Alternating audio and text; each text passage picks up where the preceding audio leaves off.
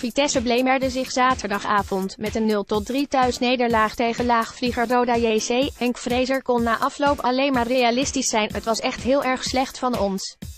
Van iedereen, inclusief ikzelf, reageerde Vrezer in gesprek met de Gelderlander. Volgens de coach toonde zijn elftal alleen in de beginfase een beetje wilskracht. Mijn wissel was ook dramatisch. Roda maakte meteen 0-2 nadat Guram Kasha bij de Arnhemmers was vervangen voor Thomas Buitink. Het was collectief falen.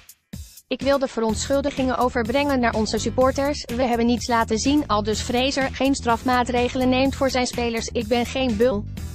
We pakken het gewone ritme op. Het is zaak in de komende vijf duels de play-offs te halen, dan moet alles anders. Dat is wel duidelijk. Thomas Brunt stelde tegen Omroep Gelderland dat alle spelers zich p moeten schamen. Dit had ik van tevoren natuurlijk totaal niet bedacht. We hebben niet eens een kans gehad over 90 minuten. Het was vandaag echt heel slecht en dan druk ik mij nog heel zachtjes uit.